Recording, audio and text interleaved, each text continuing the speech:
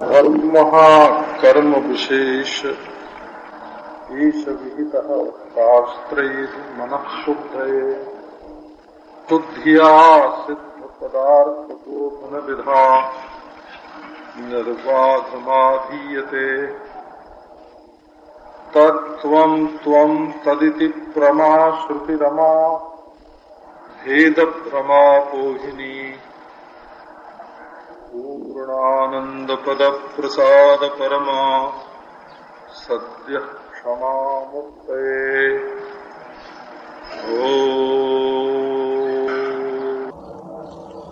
एक आदमी को किसी बादशाह से मिलना था।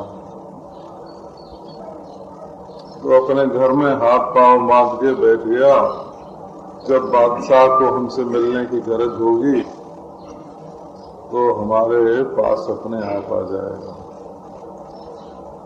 तो बादशाह को उससे मिलने की गरज कब होगी?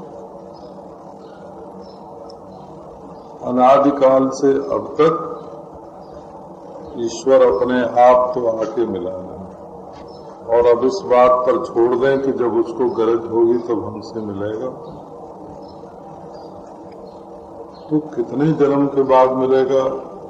कि नहीं मिलेगा, इसका कुछ पता नहीं। इसलिए जो ईश्वर को चाहता है, उसको अपनी ओर से कुछ हाथ पाँव पटकना चाहिए। उसके मन में दूसरे की प्राप्ति की इच्छा नहीं होनी चाहिए। उसके मन में दूसरे के लिए साधन नहीं होना।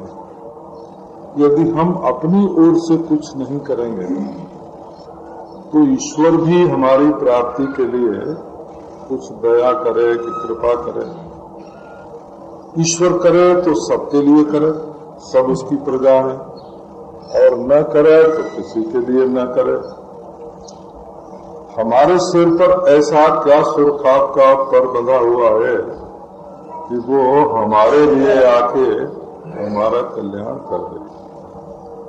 तो असल में भगवान की ओर से होनी चाहिए कृपा। पर जीव के हृदय में भगवान की कृपा के लिए उन्मुखता तो होनी चाहिए ना। कि हे कृपा जी आओ, हमारे सिर पर गिरो, हमारे हृदय में प्रकट हो जाओ। यदि न चाहने वाले पर कृपा गिरेगी, तब तो सृष्टि रहेगी ही नहीं। क्योंकि सबके ऊपर कृपा आवेगी सबका कल्याण हो जाएगा। ये भगवान का जो खेल है, अनुकूल प्रतिकूल में क्या लाभ है, भक्ति करने से क्या लाभ है, भक्ति न करने से क्या हानि है, ये दिखाने के लिए ये जो भगवान का खेल है, वो तो बंद ही हो जाएगा। ये दिखाना होता है कि जो हमारा भक्ति, हमारी भक्ति करता है उसको क्या आनंद मिलता है, क्या सुख मिलता है? और जो हमारी भक्ति नहीं करता है, उसको क्या दुख मिलता है? तो भक्त और अभक्त का यदि भेद नहीं बनेगा तो दुनिया में कोई भगवान की भक्ति करेगा ही क्यों? तो भगवान भक्त अभक्त भेद के अनुसार कृपा करते हैं। जो उनकी कृपा के लिए उन्मुख है, उस पर उनकी कृपा गिरती है। और जो कृपा से विमुख है, संसार की ओर जिसका मुख है, उसके ऊपर कृपा आवे तो क्यों आवे इसलिए साधक को भी श्रृंगार करके और देखना चाहिए कि वे आ रहे हैं कि नहीं। उनकी कृपा आ रही है कि नहीं? हम घर में रहते थे, हमारे किसी मित्र की चिट्ठी आती थी कि हम अमुक दिन को आने वाले हैं।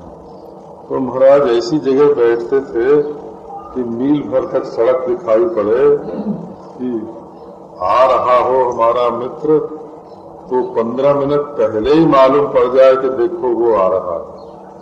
अब आया अब आया, कोई दूसरा भी आवे तो मालूम पड़ता था, शायद वही आ रहा है। तो एक प्रतीक्षा तो जीवन में होनी चाहिए ना, भगवान की कृपा के लिए, भगवत प्राप्ति के लिए। लालसा होनी चाहिए, उत्कंठा होनी चाहिए, व्याकुलता होनी चाहिए, उसके लिए छटपटी होनी चाहिए। और उसके लिए जो अपने शरीर में मैल लगा हुआ है ना, आ ही जाएगा। आ जाएगा तो हम मैले कुचेले बाँध लेके उसके सामने कैसे जाएँगे? मेला कुचेला कपड़ा पहन के कैसे जाएँगे? है? तो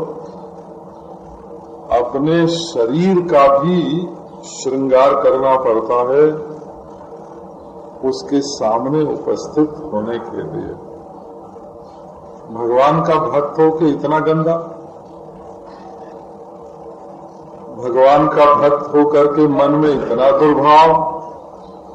तो दुष्चरित्र दुर्भाव, दुर्गुण और दुष्टों का संग साथ छोड़ के भगवान की ओर जाना पड़ता है। स्त्री, धन, नास्तिक और बैरी इनके चरित्र को कभी सुनना ही नहीं चाहिए। ऐसा नारद जी ने कहा है कि जो भक्ति के मार्ग में चलना चाहे तो ये स्त्री पुरुष का जो हो परस्पर सहवास का सुख है, इसका श्रवण न करें। और धन धन से धनी लोग क्या क्या करते हैं, कितनी कीर्ति कमाते हैं, कितना भोग भोगते हैं क्या क्या निर्माण करते हैं, धन का चरित्र भी नहीं सुनना चाहिए। और नास्तिक जो ईश्वर का अस्तित्व नहीं मानता है, या जो मरने के बाद आत्मा का अस्तित्व नहीं मानता है।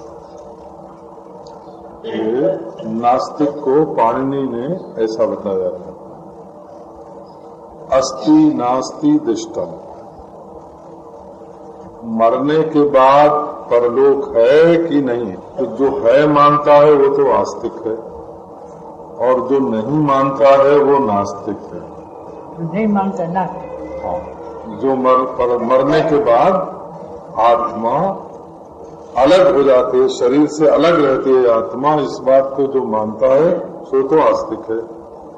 और पाप के अनुसार नरक मिलता है पुण्य के अनुसार स्वर्ग मिलता है और भक्ति के अनुसार भगवान के लोक में से विमान आता है अमानव पुरुष आता है। इस शरीर से अलग एक आत्मा के नाम की वस्तु है, परलोक संबंधी। उसको जो मानता है, उसको आस्तिक कहते हैं। और जो नहीं मानता है, उसको नास्तिक कहते हैं। आस्तिक नास्तिक शब्द की व्युत्पत्ति ही पाणिनि ने ऐसी बताई है, अस्ति नास्ति दिष्टाम। मते अस्ति नास्ति दिष्टे मते। सूत्र है तो ये जो भीतर अपने अंतरात्मा है, आप देखो देह में मैल लग जाए तो उसको साफ़ करते हैं, कपड़े में मैल लग जाए तो उसको साफ़ करते हैं, और अपने मन में कितनी मैल लगती रहती है तो समझते हैं किसको क्या पता है।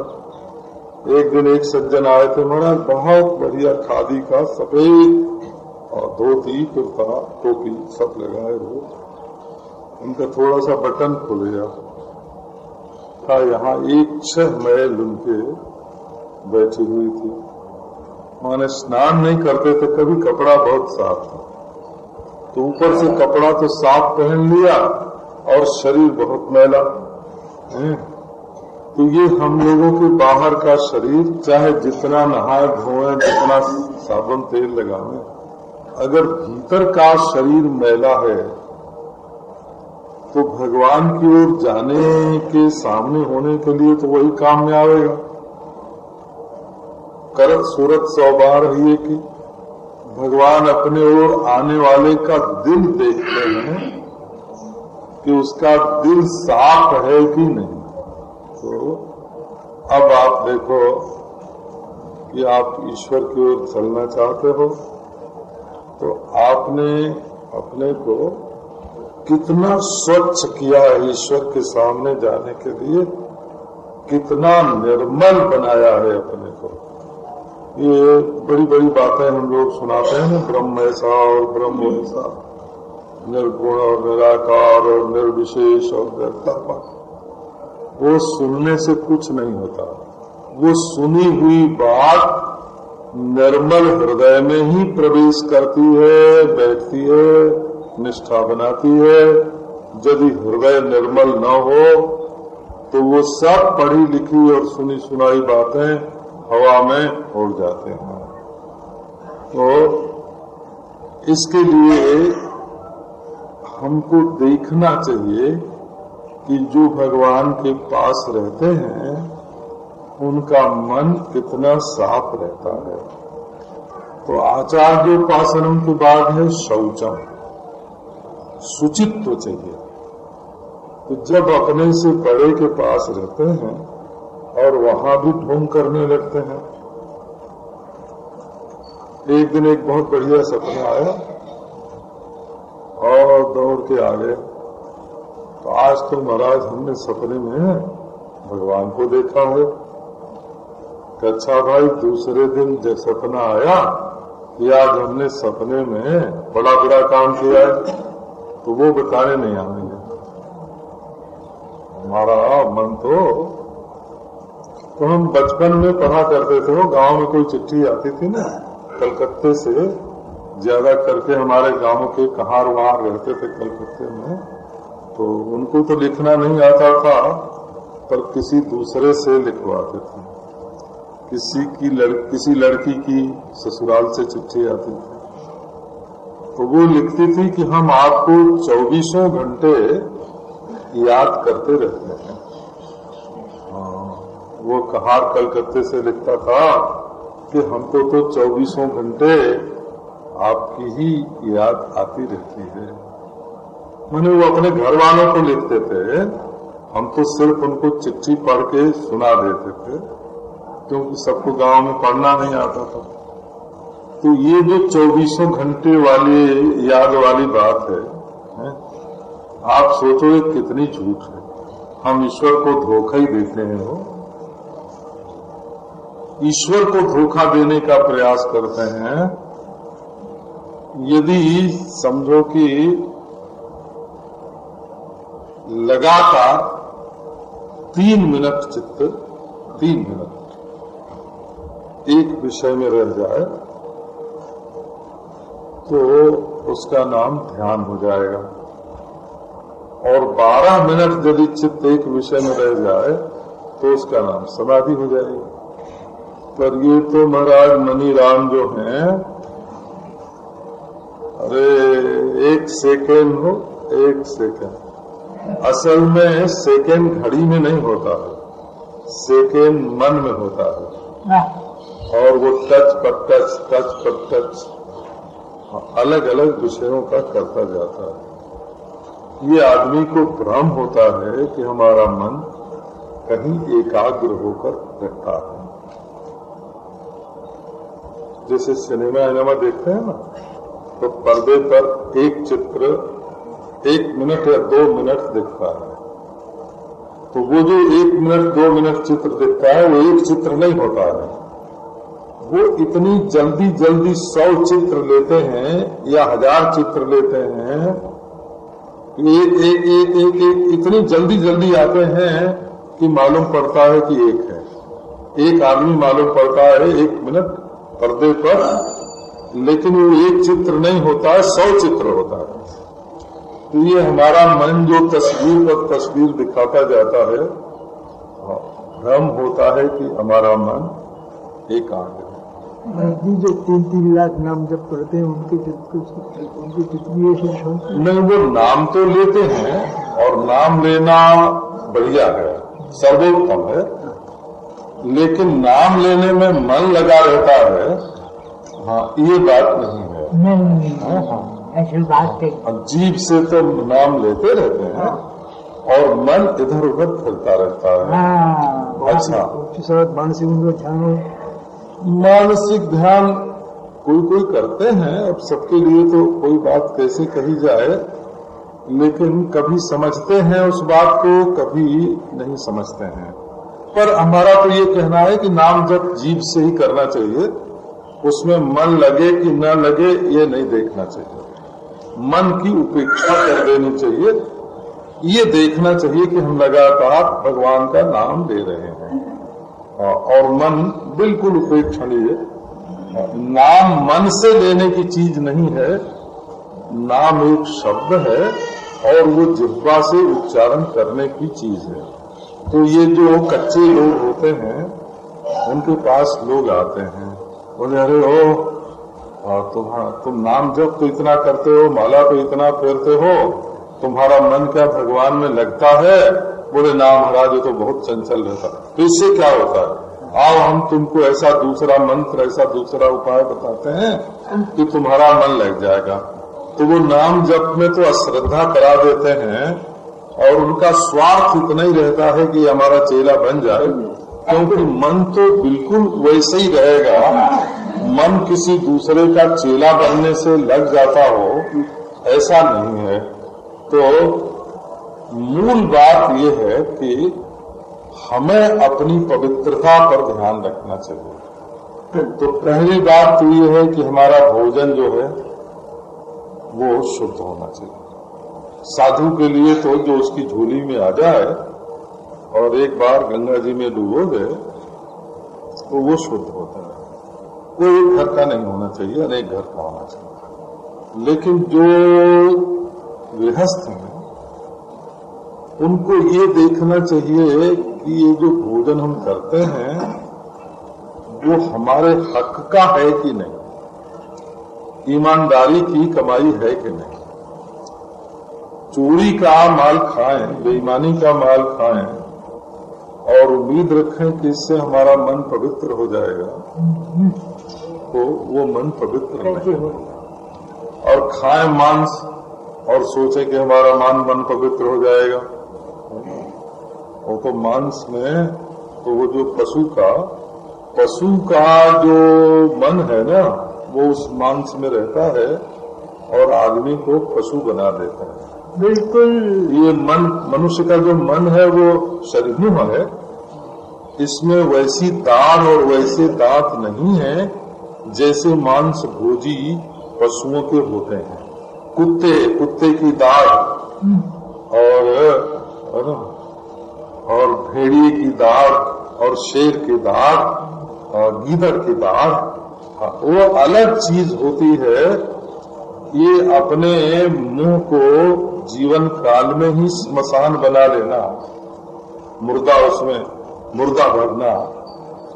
तो वो जन्म से ही अशुद्ध है। हाँ। तो एक तो बेईमानी की कमाई हो और दूसरे अशुद्ध चीज़ खाएँ और तीसरे उसमें मर मसाला कुछ और मिला दे वो भी अशुद्ध कड़ाही अशुद्ध, ज़मीन अशुद्ध जिस धरती पर बनाते हैं सो अशुद्ध। और तो समझने में सब बात और बनाने बनाने वाला अशुद्ध बनाने वाला अशुद्ध तो अशुद्ध भोजन करने से जीवन में पवित्रता का प्रकाश नहीं होता। वो तो यहाँ तक हमने देखा हमारे बचपन में हमारे घर पे रामानुज संप्रदाय के आचार्य लोग आते थे। तो हम लोगों के यहाँ ऐसे रिवाज है जैसे अब मारवाड़ियों में सनातनी का ब्याह जैन के घर में होता है, जैन का ब्याह सनातनी के घर में होता है। वैसे हम लोगों के भी हम स्मार्ट थे, पर हमारे लड़की लड़के का ब्याह आचार्यों में होता था, आचार्यों की लड़की लड़के का ब्याह। तो वो जब भोजन बनाते थे तो एक कनात से घेर लेते थे वो, और अपने हाथ से खटाई से बर्तन मांजते थे, अपने हाथ से पानी खींचते थे और जब तक वो भगवान को भोग लगा न ले तब तक किसी को देखने नहीं देते थे उस पर दृष्टि अंत्यज की रजस्वला की कुत्ते की हाँ, नज़र उस पर नहीं पड़नी चाहिए। वो भोजन देख के ललचा जाते हैं। तो भोजन सूत्र। और जो काम हम करते हैं वो हमारे अधिकार के अनुसार शुद्ध हो।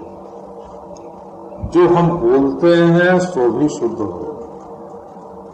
और जो सोचते हैं, सो भी शुद्ध हो। हैं? अब देखो तुम बैठते कहाँ हो?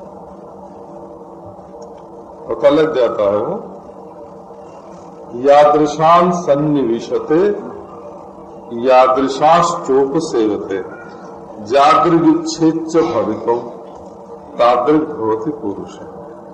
मनुष्य के जीवन का निर्माण कैसे होता है? तो बोले कि जिनके पास वो बैठता उठता है, कुछ न कुछ असर वो अपना डालेंगे।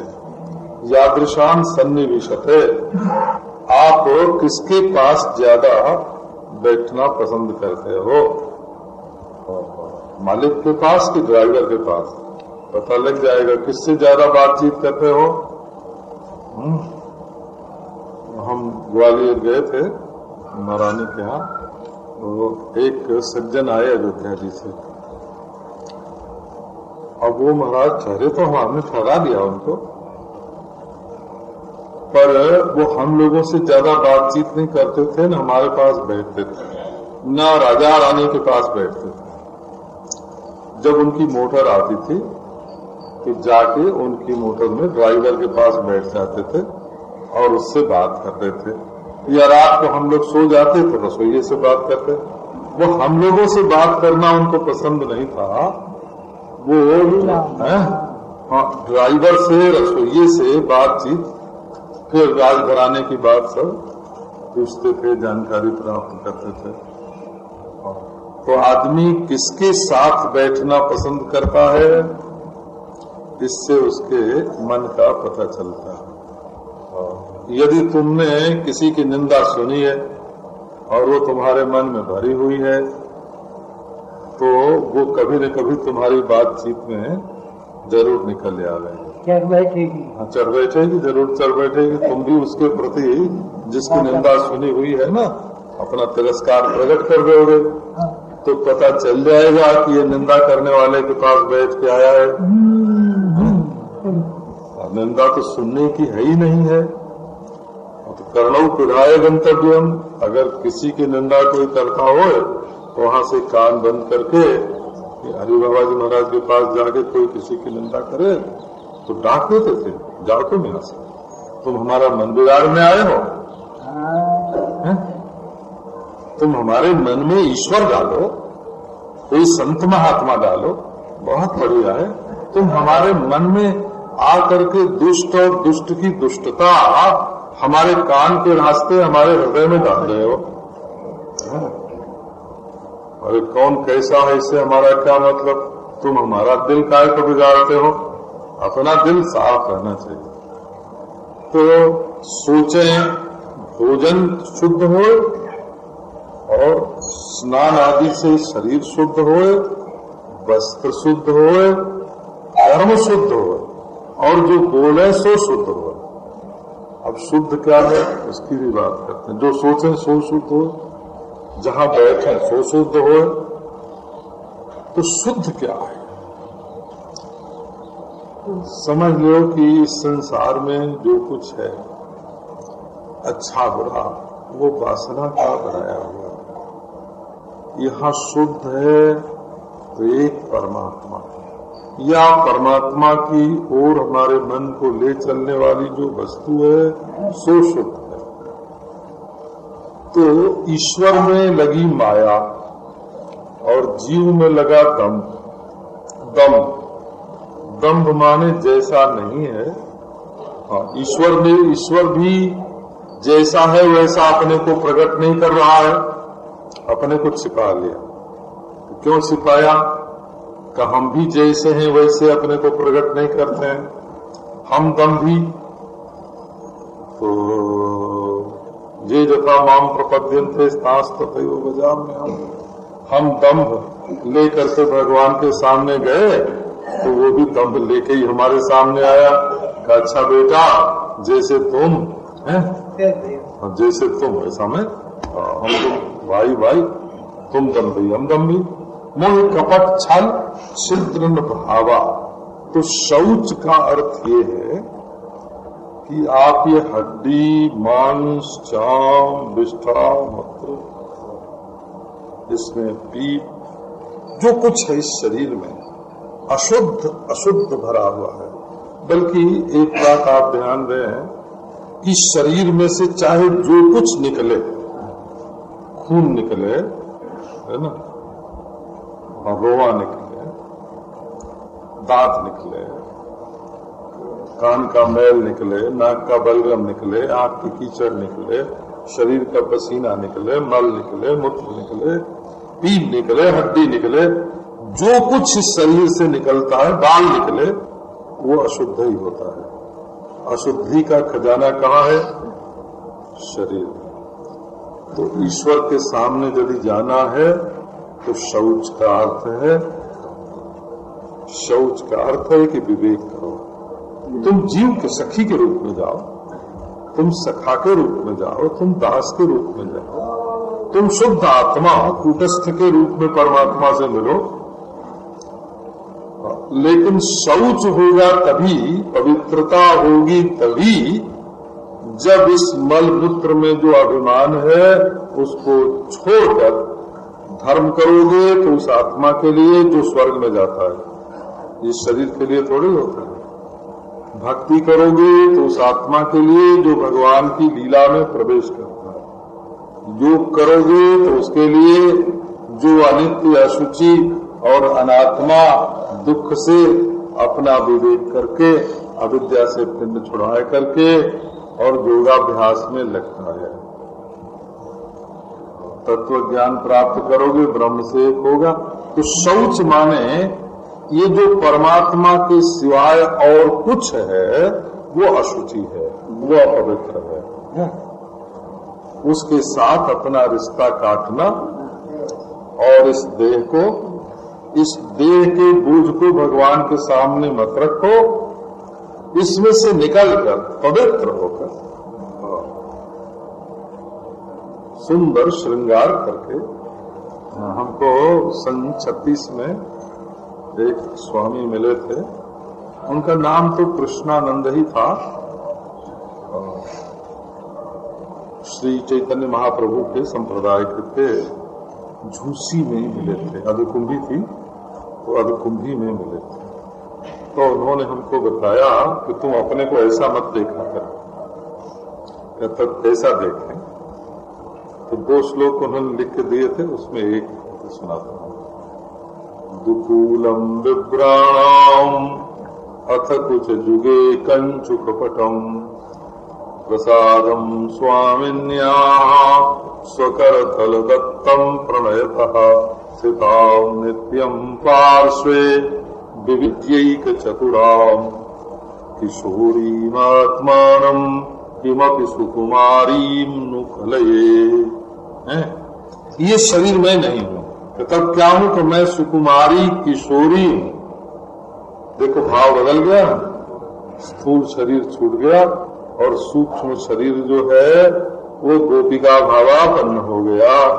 दासी हो कि सखी हो, ये बात दूसरी है। लेकिन इस शरीर को छोड़कर ही ये शरीर जहाँ का तहां भरा रहे और अपने आप को पवित्र आत्मा के रूप में भगवान के सामने उपस्थित करो। सजातीय से सजातीय का प्रेम होता है, विजातीय से विजातीय का प्रेम नहीं होता। तो आचार्योपासनम शौचम। ज्ञान प्राप्त करना है तो पवित्रता चाहिए, योग करना है तो पवित्रता चाहिए, भक्ति करनी है तो पवित्रता चाहिए धर्म करना है तो पवित्रता चाहिए। बिना पवित्र हुए भगवान के मार्ग में बढ़ना नहीं हो सकता। ये तो ज्ञान में दिखो। इसका नाम है ज्ञान। अपनी ओर से कोशिश करो कि हम भगवान को पसंद आए ऐसा कुछ करो कि भगवान तुमको देखकर खुश हो जाए। अरे, ये तो हमारे दरबार में रखने लायक है, माल में रखने लायक है हमसे मिला मिलने लायक